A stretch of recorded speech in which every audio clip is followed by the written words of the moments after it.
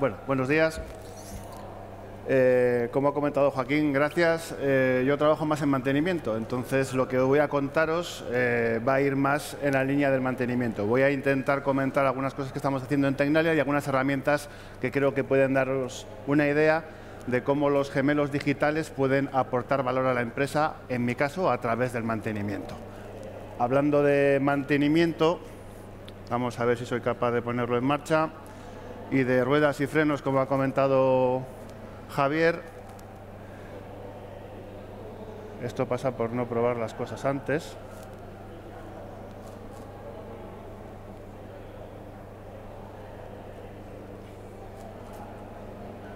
Vale. Vamos a ver una acción de mantenimiento que es un, repostaje y un cambio de ruedas. En este caso vamos a empezar con un 1.4.0. Si podemos quitar el sonido mejor. No. Bueno, pues aquí podéis ver una operación de mantenimiento más o menos desorganizada, más o menos caótica, donde todos nos estamos fijando en el colega de arriba que tiene la herramienta y le está dando golpes a la rueda, lleva un ratillo, ya hemos conseguido sacar una rueda, vamos por la segunda rueda, mientras tanto le han echado gasolina, le están dando de beber al conductor, que llevamos le podrían dar primero, segundo, postre, copa y puro. Hay gente mirando, a mí sí me hace mucha gracia, en una actividad de mantenimiento donde gente, gente altamente especializada está intentando que el coche vuelva a estar disponible en carrera, hay gente mirando, llevamos una segunda rueda, esta ha sido más fácil, parece que los golpes estaban mejor dados, bueno, seguimos limpiando, sacando brillo, tenemos para rato, ¿vale? Estamos en una carrera, el activo, que es el coche, debería estar disponible para poder ejercer la función que tiene que hacer, que es estar corriendo para llegar al final de la carrera. Y seguimos aquí, dos ruedas, hemos estado unos cuantos, un par de minutillos, ¿vale? Vamos a ver la versión 4.0 del mantenimiento de un coche. En 2013 en Melbourne, hasta hace unos años era el cambio más rápido en pit stop hasta hace, hasta hace tres o cuatro años. ¿vale? Como audiencia altamente cualificada empezáis a vislumbrar ciertos cambios entre lo que acabamos de ver y lo que estamos viendo. Mucha más gente, la gente está especializada, hay una persona por cada rueda, hay gente que cuando llega el coche, en uno, dos, tres, no llega cuatro segundos, ha ejecutado los cuatro cambios de rueda y él ha echado gasolina. ¿Vale? 1.82 en Brasil, me apunta Joaquín, que como siempre haciendo updates de, los récords. Vale. Entonces, bueno, aquí hay muchas cosas que son diferentes en el caso 1 y en el caso 2. Es decir, primero, alguien ha pensado mucho mejor todo esto, ¿vale? Alguien ha hecho un montón de pruebas, ha visto cuáles eran los cambios en el diseño necesarios para poder optimizar el mantenimiento y la rueda ya no se cambia con una barra a base de golpes, sino que solo tiene un tornillo que está preparado para con un sistema de compresión poder salir rápidamente. Alguien ha pensado que tiene que especializar y distribuir el conocimiento para poder ejecutar la acción de mantenimiento de forma óptima. Hay un montón de, conocimiento, hay un montón de sensórica. Antes el coche aparecía y actuaban, eran reactivos, el mantenimiento era activo. Ahora mismo ya saben que el coche ha llegado a un estado de degradación suficiente como para tener que cambiar la rueda y un equipo ha decidido, en función de las condiciones de, carrera, no solo las del coche, sino también el contexto, el que va delante o el que va detrás, que era el momento adecuado y todos estaban esperando. ¿vale? Hay un montón de información, de conocimiento que tenemos que coger, extraer de un activo, llevarlo a la nube, llevarlo a un modelo digital, a un gemelo digital, que es lo que hemos estado hablando, para poder tomar las decisiones óptimas en mantenimiento y asegurar que las funciones de los activos, en este caso, estar ganando carreras, se dan. ¿vale? Al final lo que necesitamos es conocer nuestros sistemas, asegurarnos que los fallos potenciales que puede haber, por ejemplo, una rotura de una rueda, sean identificables y predecibles, ¿vale? Porque en mantenimiento no vale solo con detectar un fallo. En mantenimiento hace falta diagnosticarlo y diagnosticar un fallo implica detectarlo, localizarlo e identificarlo. Es decir, si yo empiezo a escuchar en mi coche un tum tum tum tum tum, acabo de detectar que tengo un fallo, pero no sé qué pasa. Si si por mi oído detecto que lo que hace pum pum pum es la rueda, ya lo he localizado, pero necesito saber qué es el rodamiento el que ha fallado para poder hacer esa operación de mantenimiento. ¿De acuerdo? No me vale solo con modelos que me permitan identificar anomalías. A veces sí, pero en general el mantenimiento, si yo quiero actuar, necesito diagnosticar, eh, detectar, identificar, localizar y identificar. Y además, si puedo pronosticar cuándo se va a dar ese fallo, mucho mejor. Para eso utilizaré gemelos digitales. No voy a repetir la definición que mis compañeros de una manera u otra ya han estado, ya han estado comentando, pero sí indicar, como he dicho, que en un gemelo digital no solo voy a meter datos de operación, voy a meter FEME, análisis de, modos de fallos y criticidades. Voy a, voy a meter datos de la fiabilidad del sistema, voy a meter datos 3D, voy a meter datos de mantenimiento, voy a meter datos de operación, voy a meter datos de todo lo que pueda, como comentaba Javier antes, todo lo que me pueda dar información que sea útil para tomar decisiones de mantenimiento y asegurar esa función, debería estar en mi gemelo digital. Porque con eso, con ese gemelo digital y a través del mantenimiento, yo puedo optimizar el mantenimiento. Si yo sé que un, eh, generalmente los coches antes cambiábamos el aceite cada 15.000 kilómetros, pero podría ser que por mi forma de conducir o las condiciones del entorno, ese aceite pudiera durar 20.000 kilómetros. Pues lo cambio cada 20.000. Si estoy optimizando mis acciones de mantenimiento, estoy ganando dinero. Eh, puedo hacer también que el coche en su conjunto porque lo estoy manteniendo de forma adecuada, me dure más años. Eso también es dinero. Puedo hacer que mis activos estén más tiempo funcionando. Puedo hacer que si mis activos están mejor, funcionando mejor, mis problemas de calidad, como ha comentado Javier también, disminuyan.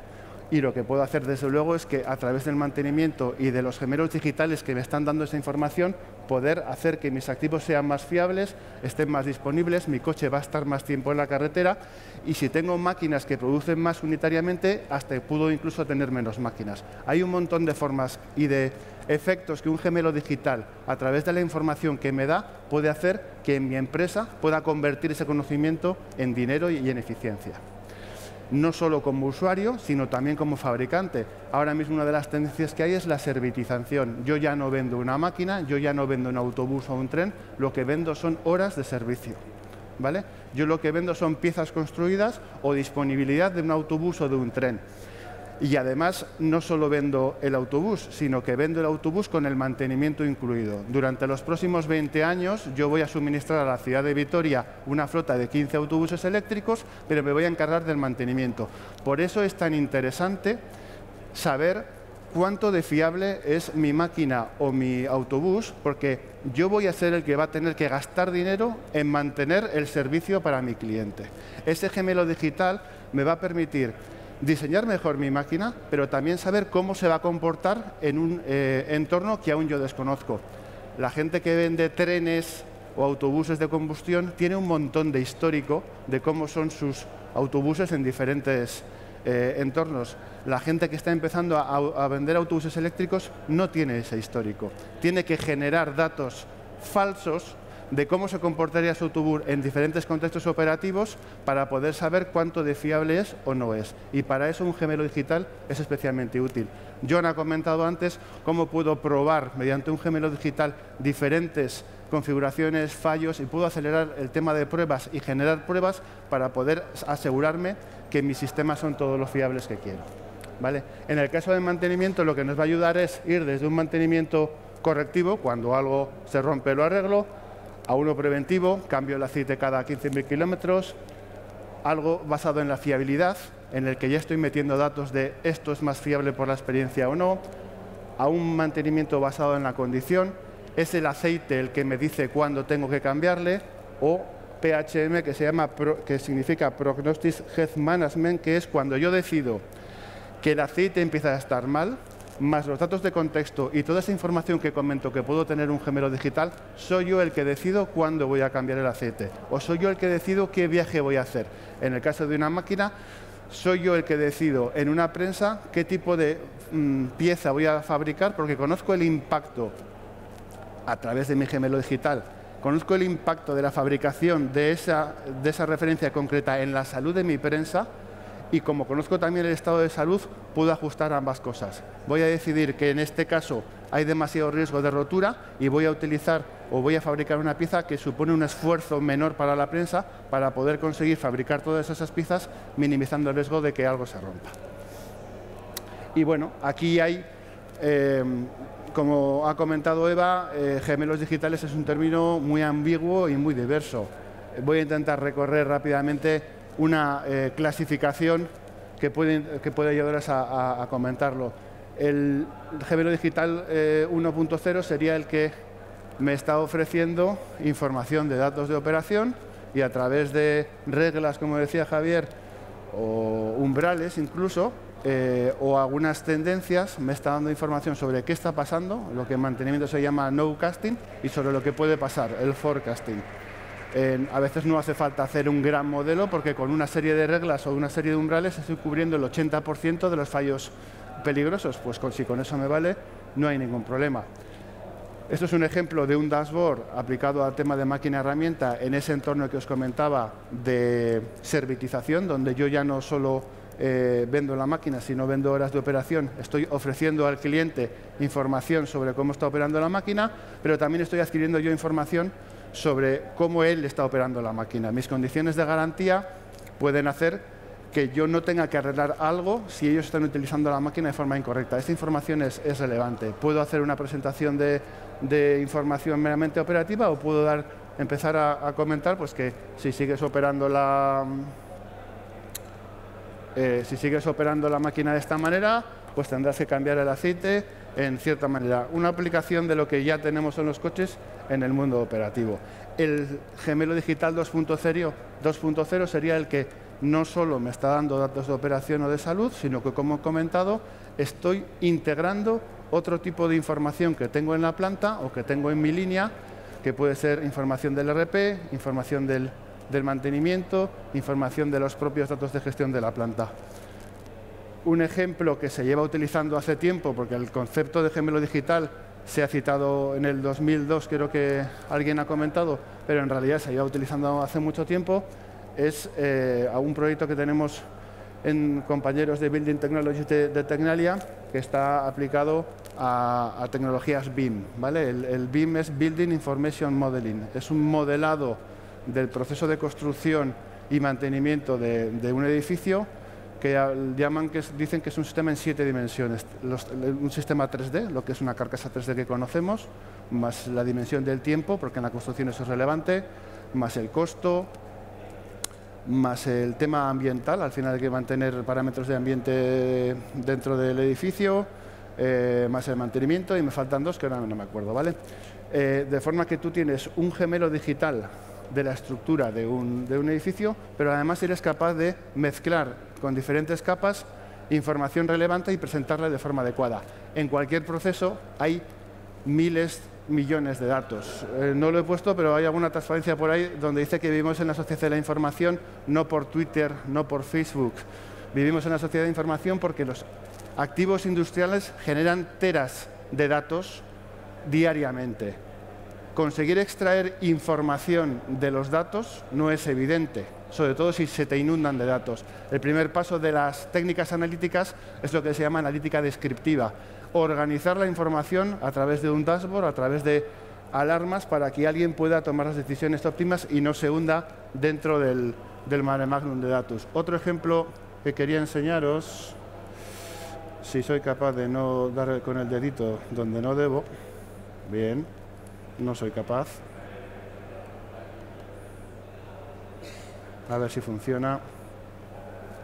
Vale, esto es una demo de, eh, de Autodesk, que es un poco el mismo concepto que os, que os acabo de comentar. ¿vale? Esto es una turbina, una turbina sensorizada es un buen ejemplo de un sistema que puede generar teras de datos.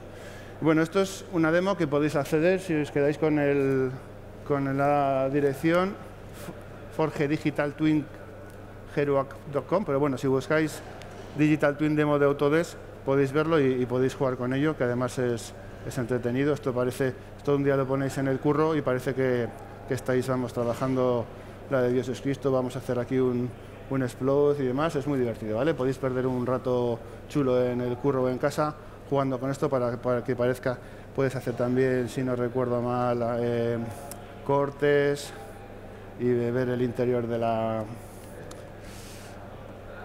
Epa, sin ratón no soy tan hábil, ¿vale? Bueno, tenéis un montón de información. Ahora mismo lo único que es una representación 3D, pero veis a la derecha que tengo datos operativos, ¿vale? Yo puedo eh, publicar datos de, la velocidad o datos de vibraciones del motor. Pero también puedo seleccionar una pieza y tener información sobre la temperatura actual de esa pieza si tuviera una serie de sensores. ¿vale? Esto que es una demo, eh, si tenéis un modelo 3D, aquí hay un sistema de, contratación por uso de datos, que tú compras una serie de créditos y los vas consumiendo. Eh, bueno, pues será barato o caro en función del, resultado que os, que os aporte. Pero bueno, aquí ya tenemos datos de operación o datos de sensores. Pero como comentaba, el truco empieza a estar en eh, fusionar o por lo menos mostrar datos, en este caso de, mantenimiento. ¿vale? Yo puedo ver problemas que ha habido de mantenimiento o incluso puedo colorear eh, en alguna parte. Debería haber una... No encuentro, puedo generar mapas de colores, se ve que este navegador no lo soporte, que me dan información sobre los problemas o las operaciones que tengo que tener de mantenimiento en cada una de las, de las eh, piezas o incluso eh, procurement, que es el tema de compras. ¿vale? Yo aquí estoy mezclando información visual en 3D con datos de operación, con datos de mantenimiento y con datos de, compras y de repuestos. Y, este eh, sistema tiene una serie de APIs que te permiten generar soluciones personalizadas. En ocasiones merece la pena desarrollar desde cero algo customizado al cliente, en ocasiones no hace falta inventar la rueda y tienes ya eh, sistemas comerciales comoditizados, como dicen los frikis, donde ya puedes empezar a, generar eh, soluciones. El siguiente nivel sería lo que os comentaba, meter datos de contexto. Es decir, no es lo mismo conducir un coche a 3.000 revoluciones que conducirlo constantemente a 8.000 revoluciones, de forma que yo tengo que mezclar datos, eh, datos de salud, datos de proceso, pero también los datos de contexto. ¿vale? Eh, este pedazo de transparencia es un esquema de cómo se suele trabajar a la hora de estimar parámetros que son útiles para determinar la salud de un sistema. Yo puedo tener una serie de sensores, vibraciones, temperaturas y demás. De esas vibraciones extraigo unas características que me dan información. De esos datos eh, extraigo unas características que me dan información. Lo más normal en una vibración es eh, tomar, por ejemplo, el valor global. Pero hay ciertos modos de fallo que van a tener representaciones en ciertos armónicos de mis vibraciones. Eh, es lo que comentaba antes, si, en tu coche vas a empezar a tener un problema en un rodamiento, vas a empezar a escuchar un boom, boom, boom, boom. Mucho antes, cuando el rodamiento empiece a, degradarse, las vibraciones, que no el sonido, si yo pongo un vibrómetro voy a poder tener, ver que en ciertos picos de mis, eh, de, mis patrones de vibraciones voy a tener información sobre eso. Eh, curiosamente, una de las características que me pueden dar información sobre la, Mm, una información muy eh, preliminar sobre si empiezo a tener un, problema eh, con vibraciones es eh, la entropía. Ya sabéis que la entropía en una serie temporal mide la cantidad de información o de ruido que tengo. Si yo tengo un sistema normal que no tiene picos de fallo, mi nivel de información va a ser baja, va a ser todo ruido. Si voy a empezar a tener picos que me están diciendo que tengo algunos problemas en un rodamiento o una desalineación, el nivel de entropía disminuye porque el nivel de información que hay aumenta. Es decir, ese nivel de ruido se empieza a ordenar en torno a ciertos picos. De forma que, aparte de lo que es el nivel absoluto de vibración o información de ciertos picos, puedo generar una serie de marcadores que me están dando información relevante sobre eh, sistemas degradados, sobre ciertos modos de degradación en mi sistema.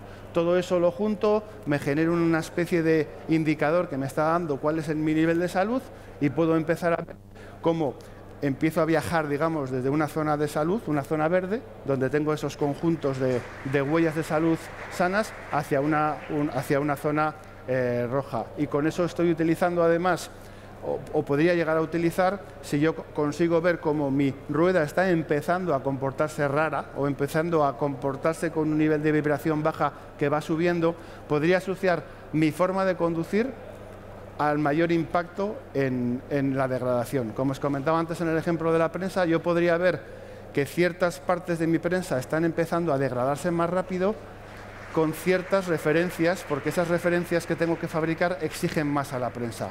Y esa asociación entre operación Y eh, salud lo que me puede hacer es ya no hacer un mantenimiento preventivo o predictivo, sino un mantenimiento prescriptivo. Es decir, yo voy a prescribir que eh, la salud de mi máquina va a ayudar a prescribir qué datos o, qué referencias operativas tengo que, hacer. Pero ¿qué pasa cuando no tengo datos de fallo? Es decir, los modelos basados en datos, los modelos, basados, eh, los modelos que aprenden en base al histórico, son especialmente buenos cuando tengo una población diversa de todo lo que ha pasado los modelos basados en datos funcionan muy bien para los bancos. Los bancos tienen clientes de todos tipos, tienen clientes jóvenes, tienen jubilados, tienen gente que gana mucha, mucha pasta, gente que gana poca pasta y se mete en una hipoteca de la leche y que tiene un riesgo. Tienen todos los casos y un histórico de forma que cuando tú empiezas de repente a tirar más de la tarjeta, el modelo reconoce que estás pasando lo canuto y si encima te quieres pedir una hipoteca, el modelo dirá, oye, cuando alguien tira de la tarjeta y empieza a meterse en berenjenales de estos, yo ya sé que aquí hay un riesgo alto, de que este tío tenga un problema. Pero en la industria, donde generalmente los equipos están sobremantenidos, eh, porque yo lo que quiero es que el equipo funcione, voy a tener información de la primera parte. ¿vale? Los modelos basados en datos van a poder aprender y a predecir lo que ha sucedido, pero no lo que no ha sucedido. Para eso es donde metemos, como comentamos, como ha comentado mi compañera Eva, la diferencia entre modelos basados en datos y modelos físicos. De forma que llego al gemelo digital 3.0, donde hibrido eh, datos de operación, datos de modelos físicos y además, como ya he comentado, meto la operación de contexto. Con esto intento tener la mayor información posible en mi gemelo digital para que ese gemelo digital pueda simular todas las situaciones realistas que se hayan dado o que no se han dado y con eso poder optimizar las decisiones que puedo hacer en mantenimiento. Y tendría un sistema con un, grupo de sensores, un tema de condition monitoring, donde podría detectar ciertos fallos y un sistema eh, virtual, un gemelo digital virtual, donde estoy generando datos sintéticos de fallo que se hibridan y me permiten hacer esa diagnosis y esa prognosis. Un ejemplo de, vamos a ver si me funciona el dedito, aplicado al sector eh, eólico dentro del proyecto virtual que también está liderando aquí Félix, que ha comenzado. Eh, mis compañeros de Tecnalia del grupo de Digital Energy un gemelo digital es una representación digital de un activo físico que emula su comportamiento. el gemelo digital toma como base un modelo que se alimenta con datos de entrada reales, proporcionando los parámetros de operación teóricos eh, esperados. Estos se eh, comparan con los parámetros reales para extraer conclusiones pues, sobre la condición del activo. El gemelo digital permite el diagnóstico y predicción del fallo, así como la estimación de la vida útil remanente del activo. También permite rediseñar el activo o el sistema de control para adaptarlo a las condiciones de operación.